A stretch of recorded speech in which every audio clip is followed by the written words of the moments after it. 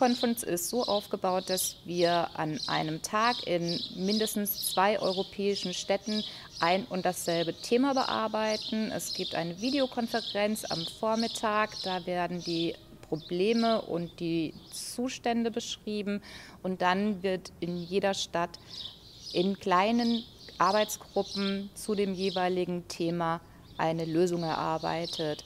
Nach sechs bis sieben Stunden haben wir mit Sicherheit ganz, ganz tolle und hilfreiche Ideen erarbeitet und wir sind sehr gespannt darauf, ob wir in unterschiedlichen Ländern zu den gleichen Ergebnissen kommen. Das ist auf jeden Fall eine spannende, ein spannendes Experiment.